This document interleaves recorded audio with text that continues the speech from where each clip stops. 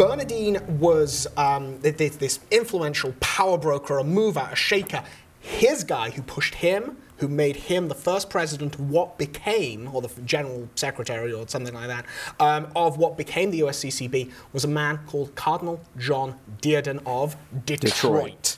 And so there's there's, there's this Wild connection there. liberal. Yeah, wild liberal there. Great, great problem. But the, the gravest problem here is with the creation, I think, of the College of Bishops, the USCCB. What it does is um, Catholics today can't understand this because they've been inculcated in this notion uh, of, of the colleges of bishops. But in his own diocese, the bishop You is mean the- you mean the conferences Uh, the conference of bishops. Right, my right. In the conference of bishops, the um, the, the bishop, he in his own diocese, he's pope. What he says is goes. But now there's this understanding of well, the conference says da da da da. We all voted on it, and the conference decided. It wasn't my decision. We all voted on it, and that allows liberal bishops who don't want to be seen to be liberal, they get to skate.